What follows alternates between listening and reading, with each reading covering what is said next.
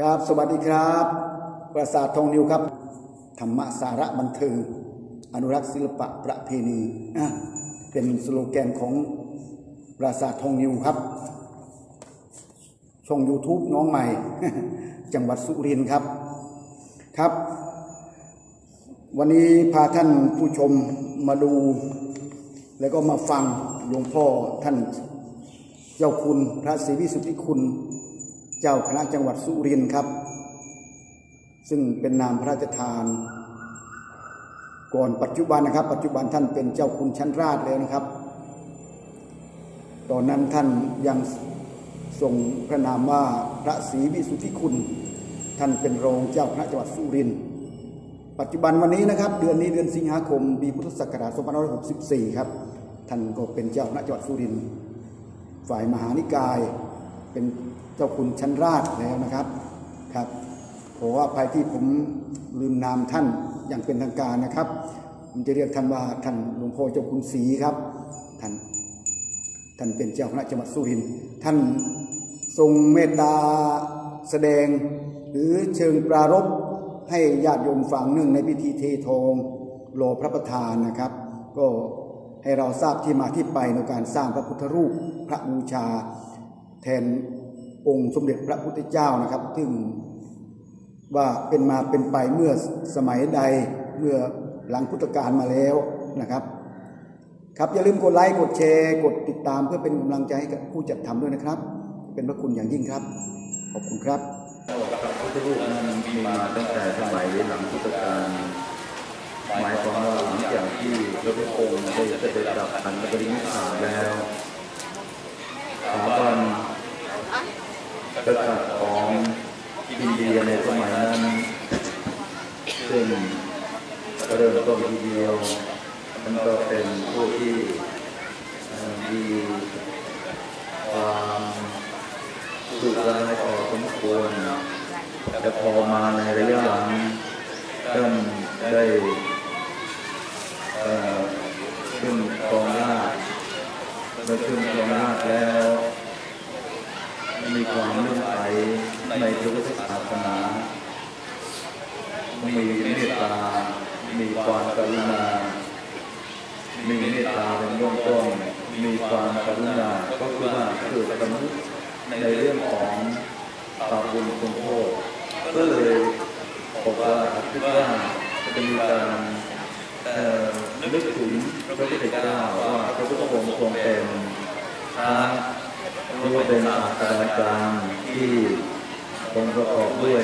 คุณธรรมทั้งปวงพวกที่เราเรียกว่าอรหันต์สัมมาสัมพุทโธพระโว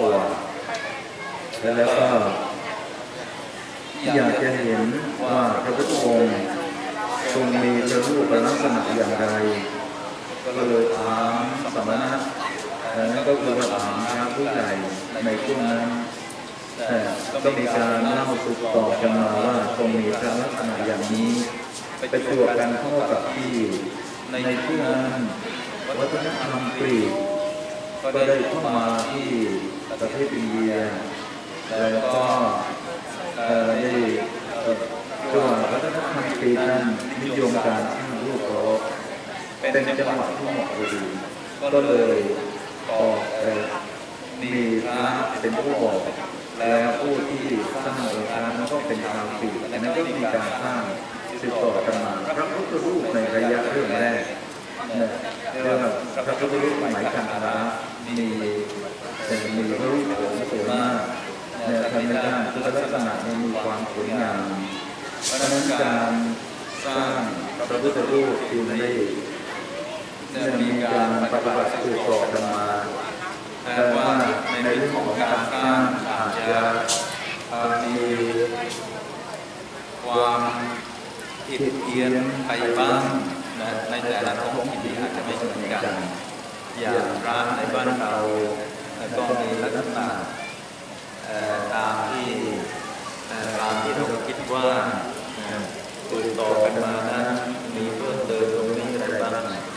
แต่โดยที่สุดแล้วเราก็ต้องยอมรับว่าพระพุทธรูปทั้งหมดที่กรมศิลปากรรับรองมีอยู่แปดสิบทางทั้งยืนเดินนั่งนอนแม้แต่ในขณะนั้นก็อยู่ในธรรมเนียบของกรมศิลปากรด้วยนะแปดสิบทางเพราะนั้นการสร้างพระพุทธรูปอาจจะสร้างด้วยดินก็ตาม อาจจะสร้างด้วยวัตถุอะไรอย่างอื่นก็ตามที่มันมีลักษณะที่มันคงแข็งแรงแต่เสร็จแล้วก็เป็นที่เคารพบูชาหรือว่ากราบไหว้บางท่านก็บอกว่า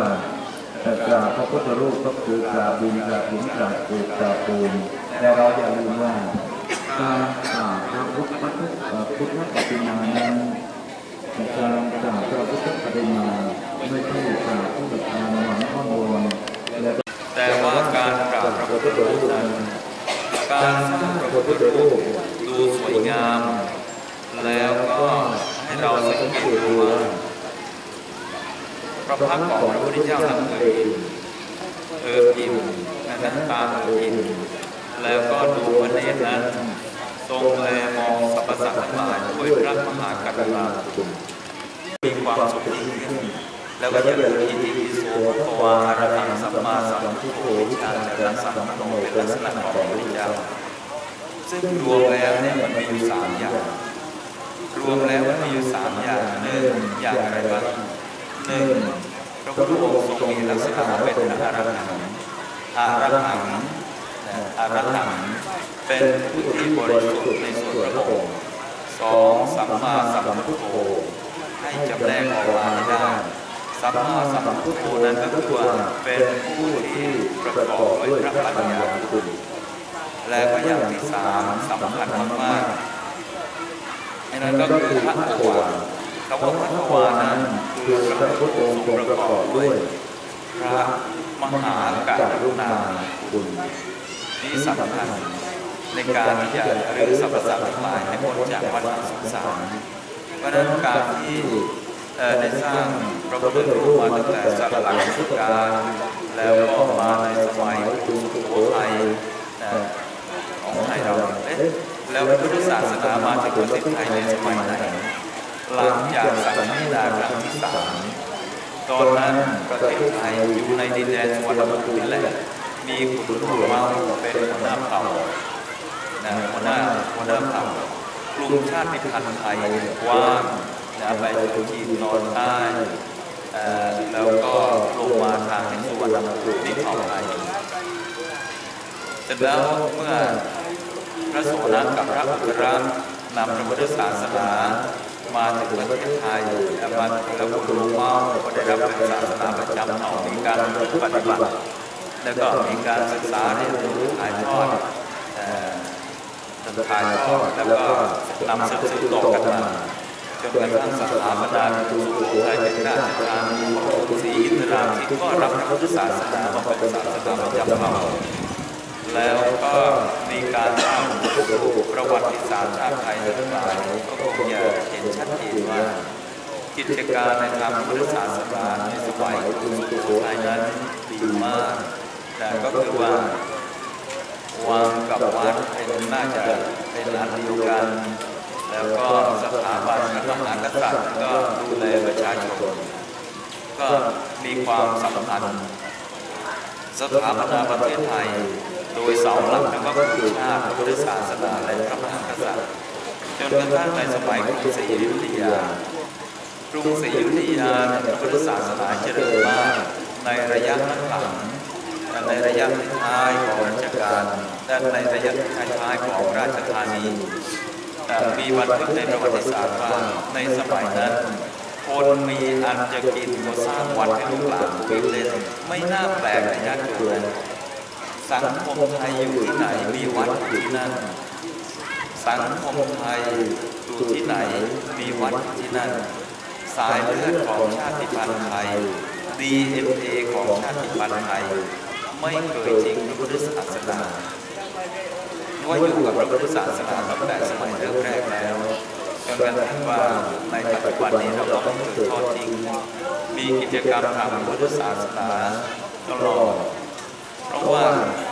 เมื่อสร้างวัดแล้ว ไม่เฉพาะแต่ให้ลูกหลานมาวิ่งเล่น ลูกหลานที่มาวิ่งเล่นในวัดก็ได้ความรู้นะได้ข้อปฏิได้ข้อวัดปฏิบัติก็มีจริยวัด หรือว่ามีศีลธรรมจรรยาติดตัวไปด้วย นั่นก็คือว่าพระได้สอนวิชาการนะพระก็ได้สอนศีลธรรมให้แก่กุลบุตรด้วย ส่วนกุลธิดานั้นเป็นฝ่ายอุปถัมหรือว่าได้รับการเรียนรู้จากที่บ้านอย่างนี้เป็นต้น เพราะฉะนั้นมาในสมัยหลังจากที่กรุงศรีอยุธยาแตกแล้วนะ เจ้าตากสินมหาราชกอบผู้เอกราชเรียกว่าขอแผ่นดินนี้คืนจากพม่าแล้วก็ถวายเป็นพุทธบูชา ตอนนี้ประเทศไทยก็เป็นสมบัติของพระเจ้าแต่แล้วก็มาในสมัยเอ่อตอนต้นรัตนโกสินทร์ก็ได้มีการรวบรวมนั่นแหละรวบรวมคำพีร์ทางพระพุทธศาสนาหลังจากที่ถูกพม่าเผาแต่ว่า ยังมีหลงเหลืออยู่บ้างรวบรวมเสร็จแล้วแต่ก็มาถึงสมัยกรุงรัตนโกสินทร์มีการแปลคำพีร์นแปลคำพีร์มีฤทธิ์นปัญหาแล้วก็นำพระไตรปิฎกฉบับเวลาเนี่ยเอ่อเข้ามาเก็บที่บริบูรณ์นะให้สมบูรณ์มีการศึกษาเล่าเรียนและตั้งแต่สมัยรัชกาลที่หนึ่งเป็นต้นมาจนกระทั่งสมัยรัชกาลที่เก้าก็มีการสร้างวัดประจำพระองค์ เห็นได้ว่าวัฒนธรรมในการสร้างวัดเอ่อก็มีวัดประจำรัชกาลตั้งแต่สมัยรัชกาลที่หนึ่งเป็นต้นมาแล้วก็มีการสร้างพระพุทธรูปด้วยเรื่องเดิมทีในประเทศไทยสร้างพระพุทธรูปเพื่อไว้ที่วัดแล้วพอมาสร้างพระพุทธรูปไว้ที่วัด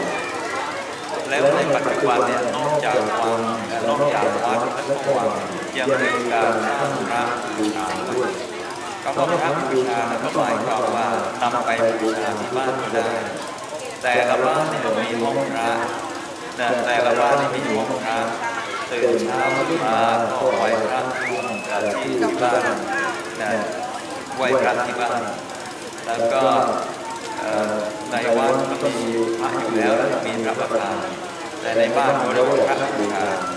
เพราะนั้นเมื่อสร้างมันไว้ที่บ้านแล้วก็อย่าลืมที่เอ่อที่บ้านมีพระพิเศษอยู่จำนวนหนึ่งมีพระพิเศษอยู่จำนวนหนึ่งก็พยายามออกลงทุนลธิดาเหมือนกันทุกคน ที่บ้านเรามีพระพุทธรูปแล้ว ที่วัดก็มีพระพุทธรูปแต่อย่าลืมพระที่บ้าน คือพระอรหันต์ที่บ้าน พระอรหันต์ที่บ้านคืออะไรหนึ่งคุณพ่อสองคุณแม่อะไรญาติผู้ใหแต่โดยที่สุดแล้วก็คือพ่อแม่เนี่ยเป็นพระอาหันต์ของลูกพยายามบอกลูกหลานของญาติโยมกันว่าไหว้พระที่บ้านเอาไหว้พระที่วัดแล้วอย่าลืมพระที่บ้านก็คือพระพ่อพระแม่สำคัญที่สุดในครอบครัว ตอนนี้เพราะนั้นเราก็เอ่อก็ได้ช่วยกันบอกว่าหลวงพ่อที่วัดหลวงพ่อที่วัดยกพ่อยกแม่ให้เป็นพระอรหันต์ที่บ้านพ่อกับแม่ที่บ้านก็พยายามทำตัวให้เป็นพระอรหันต์ที่บ้านด้วยนะอย่าให้เป็นอย่างอื่นซึ่งไม่ใช่พระอรหันต์นะ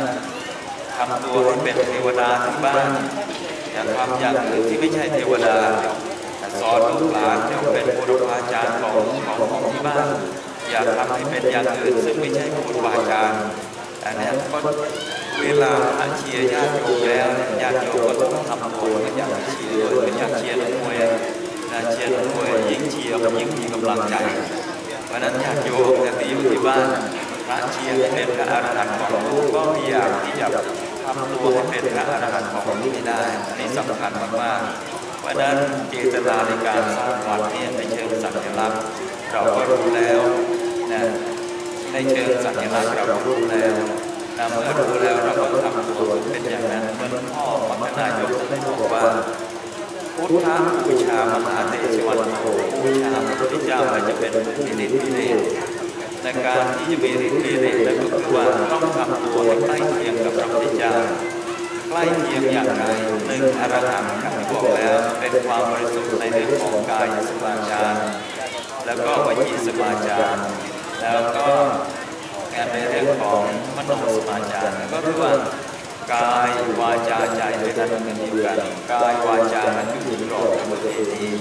แล้วก็มโนนั้นก็คือว่ามีจิตใจสะอาดบริสุทธิ์นะอันนี้เรื่องของอรหันต์ ต่อมาก็คือสัมมาสัมพุทโธมีพระปัญญา ปัญญาเกิดจากอะไรบ้าง ปัญญาเกิดจากการฟัง ปัญญาเกิดจากการคิด ปัญญาเกิดจากเกิดจากการฝึกฝนอบรมแล้วก็ต่อมานั่นก็คือพระภวาเป็นเราก็ต้องทำตัวเป็นอย่างที่พระพุทธเจ้าทรงเป็น หรือไม่ถึงกับว่าเป็นสัมมาสัมพุทธะเป็นพุทธานุพุทธะนี่ก็ได้เนี่ย เรียกว่าเจริญรอยตามพระพุทธองค์ใกล้เคียงกับพระพุทธองค์มากนั่นก็คือว่าเป็นผู้ที่ชี้ทางบรรเทาทุกข์ชี้สุขเกษมสารชี้ทางในความอันพ้นโศกยุคภัยนั่นก็คือว่าบำบัดทุกข์นั่นเองแก่ลูกหลานให้แก่สังคมช่วยบรรเทาทุกข์ให้แก่คนรอบด้าน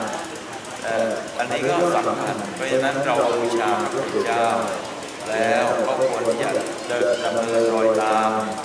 หรือว่าจะเจริญรอยตามตามที่พระพุทธเจ้าทรงเป็นไม่เป็นสัมมาสัมพุทธะแต่ขอให้เป็นอนุพุทธะหรือพุทธานุพุทธะก็ได้ตามสมควรแก่กำลังตามสมควรแก่อัธยาศัย ในทางของคณะสงฆ์จังหวัดสุรินทร์ซึ่งตอนนี้ลูกของด้วยเป็นหลวงพ่อใหญ่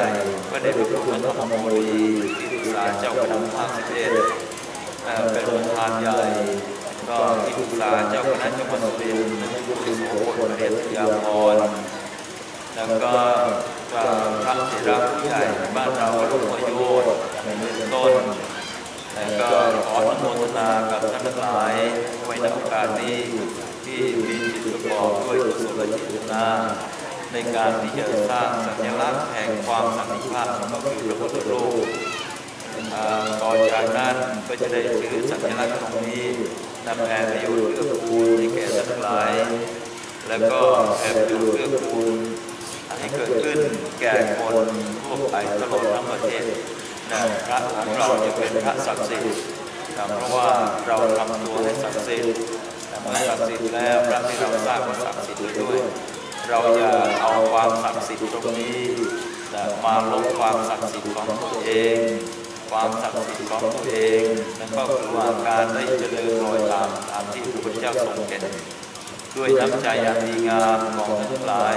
ประกอบด้วยท่านนายเมืองวันลบคุณมนเจริญเป็นต้นเป็นประธานแล้วก็พุทธศาสนิกชนทั้งหลายชาวบ้านเราทุกท่านมีบุญแลจิตตาในกันนั้นรัตนยานอาเวนะด้วยอำนาจแห่งคุณพระศรีรัตนตรัยคุณพระพุทธธรรมและพระอริยสงฆ์ จุดนานทานพรให้ท่านทั้งหลาย